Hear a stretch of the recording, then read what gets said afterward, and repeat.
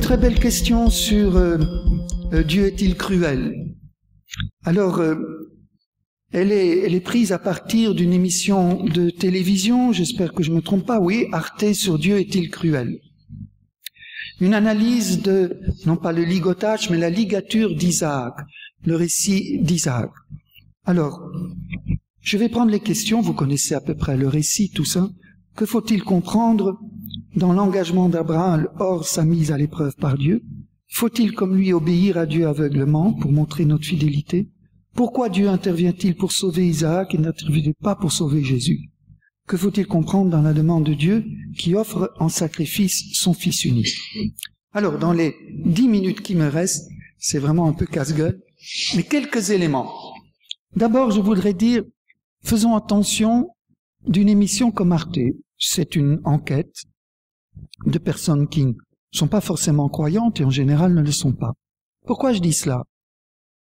Rappelez que le Concile dit l'écriture inspirée, pour être comprise dans ce qu'elle dit vraiment, suppose la lumière de l'Esprit Saint, suppose donc la foi. Comment est-ce que je peux lire un texte inspiré si j'ai pas la clé de lecture? Et la clé de lecture n'est pas d'abord intellectuelle, elle est d'abord spirituel. Nous y revoilà. C'est une histoire d'illumination. Alors il faut être initié, nous le sommes par le baptême, par la confirmation, par la grâce de Dieu pour pouvoir comprendre ce que réellement le texte dit. Est-il occulté? Le sens est-il occulté? Non. Il y a le sens littéral auquel s'arrêtent les, les reporters de cette émission, mais ça, comme dirait Origène, ce n'est que l'écorce extérieure sur laquelle on risque de se casser les dents. Puis y a une, peau qui d'ailleurs irrite la gorge. Et ce n'est qu'ensuite, dit-il, qu'on va atteindre la noix, la douceur de la noix. Attention, dans ces émissions, souvent on reste à l'extériorité. Elles sont légitimes, hein le texte est offert à l'investigation de tout le monde. Mais n'entendez pas de journalistes la réponse à une question de foi. Deuxième mise en garde. Les auteurs de Arte devraient avoir, peut-être qu'ils l'ont eu, je n'en sais rien, mais si j'étudie un texte d'une tradition hindoue, je m'arrange qu'il y, ait un hindou de présence sur le plateau. Au nom de quoi vais-je interpréter cette tradition? Si c'est un texte comme la ligature d'Abraham, je demande à un juif, à un rabbin juif, de me dire comment il comprend ce texte. Si c'est un texte chrétien, je demande à un chrétien de m'expliquer. Si je ne le fais pas, ben je vais faire euh, des débats qui vont tourner très vite euh, à projeter mes idées sur Dieu sur le texte, alors que le texte est là pour me dire qui est Dieu. Alors, je sais que je vais trop vite, hein. J'aimerais revenir une prochaine fois éventuellement sur ce texte.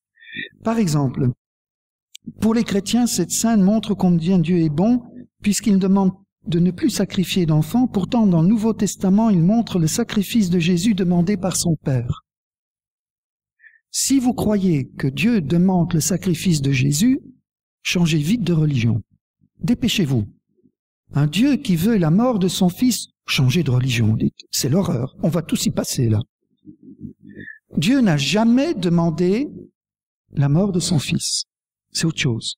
En deux mots, qu'est-ce que l'incarnation rédemptrice?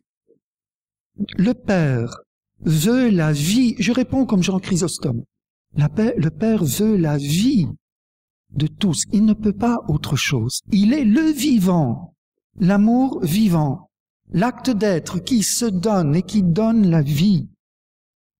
Sauf que les hommes, le péché, c'est la rupture avec cette source de vie, la rupture avec l'amour, et donc l'homme tombe dans la mort parce qu'il s'est, débranché, j'aime pas, il a lâché la main de Dieu.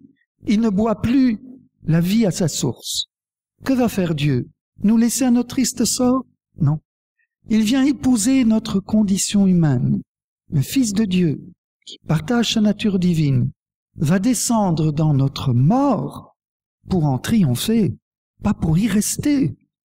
Dieu ne veut pas la mort du Fils, le Père permet, consent à ce que le Fils descende dans notre mort pour en triompher. Jésus a assumé toutes nos morts. Et puis, il a demandé au Père vivifiant de le relever et de nous relever avec lui. C'est ce qui se passe au matin de Pâques. Notre Dieu veut la vie de tous, il consent à ce que son fils étreigne, son fils étreigne notre mort pour l'emporter dans sa résurrection. Le vendredi saint, ce n'est pas le sommet de la paternité, c'est le sommet de la filiation. Jésus fait confiance à son Père jusqu'à oser descendre dans la mort parce qu'il sait que le Père est vivifiant. Et le matin de Pâques, c'est l'absolu de la paternité, où le Père vivifie le Fils et tous ceux qui croient en lui. Donc attention. Quand d'ailleurs la lettre aux Hébreux le dit également, hein, et non, le Père n'a jamais demandé, demandé la mort du Fils. Et d'ailleurs, l'intervention du Père à la résurrection annule, enfin, dit bien ce qu'elle veut dire. C'est en vue d'une vivification. C'est pas des détails ce que je dis là, hein. C'est une vision d'un Dieu d'amour et de vie ou bien une vision d'un Dieu de mort. Et trop souvent, le christianisme passe comme mal interprété. Par exemple, on s'arrête à la croix de Jésus. On se dit, mais alors vous adorez, comme un jour un gourou hindou m'a dit, mais vous adorez un, un mort, mais c'est une honte. Mais non, nous adorons quelqu'un qui nous a aimés jusqu'à épouser notre mort et nous entraîner dans la vie. Vous savez bien que Jésus souffrant n'est exposé à notre vue sur la croix qu'à partir du 13-14e siècle. C'est le gothique. Avant ça, jusqu'au roman, c'est un Jésus sur la croix, mais vainqueur, les yeux ouverts, triomphant. On associait mort et résurrection. Et ici, c'est pour souligner qu'il m'a aimé. La preuve que Dieu nous aime, dit Paul, c'est que Dieu nous a livré son Fils, a livré son Fils pour nous, pardon, alors que nous étions encore des pécheurs. C'est pour marquer le sommet de l'amour. Mais attention de ne pas en faire une religion doloriste, souffreteuse ou que sais-je encore. Dieu bon ou Dieu cruel, un Dieu bon qui va jusqu'à assumer toute la haine du monde dans son amour de miséricorde, toute la haine du monde s'épuise sur Jésus qui aime ses bourreaux d'un amour plus fort que la haine qu'il lui porte et qui aime tous les pécheurs d'un amour plus fort que la haine qu'il lui porte. C'est ainsi qu'il triomphe. Nous sommes sauvés non pas par la souffrance du Christ, mais par l'amour avec lequel il a traversé cette épreuve. C'est tout autre chose. Alors, encore trois minutes. Euh, faut-il, ici, devant nous, faut-il, comme euh, Isaac, obéir à Dieu aveuglement? Alors, là, il y a une confusion sur la terminologie. Là, c'est le philosophe qui se trahit.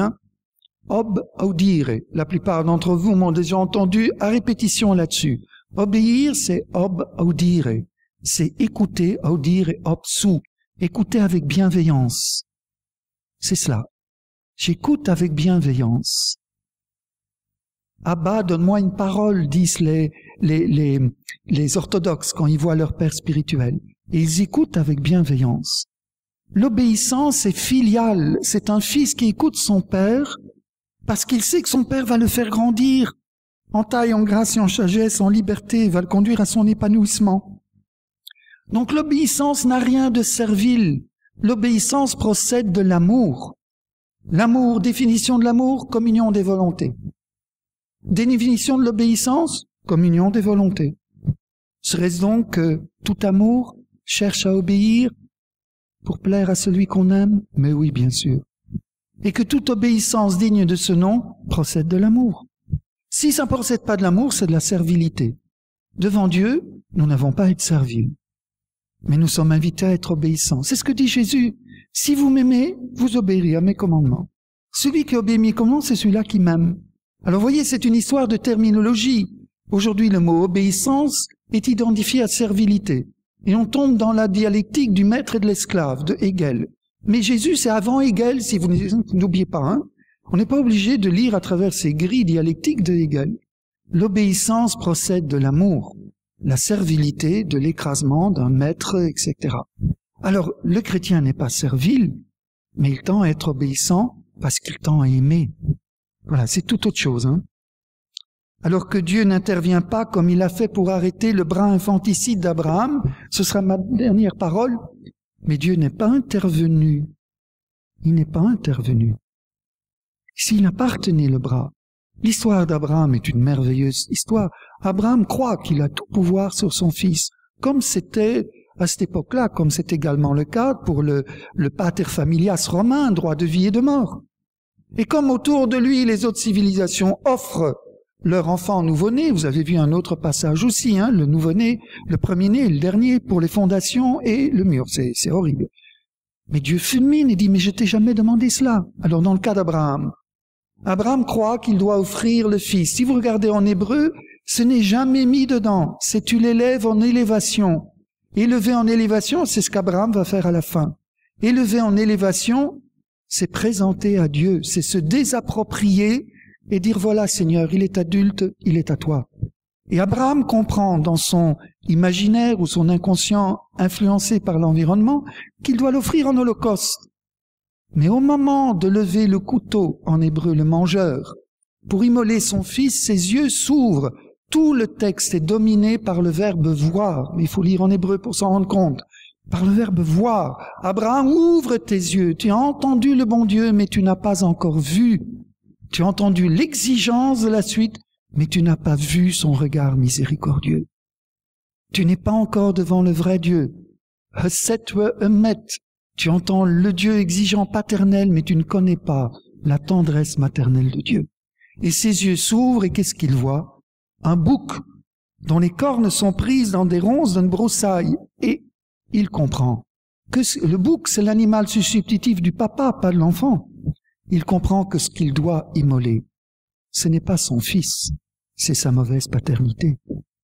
Que sa paternité n'est pas à celle de l'image de Dieu. Que la paternité de Dieu est une paternité qui fait grandir, qui fait vivre. Et donc il immole le bouc et il délie son fils, tournez la page. Il peut enfin se marier, tourner la page. Abraham rejoint ses pères et la bénédiction peut reposer sur Isaac. C'est une magnifique étape où il prend conscience que Dieu n'a jamais demandé tout cela. Mais vous savez, la Bible, c'est une histoire de la patience de Dieu qui peu à peu conduit des hommes à la nucrède, c'est dans le texte, c'est pas moi qui le dis, hein, à sortir de leur précompréhension terrible sur Dieu et meurtrière.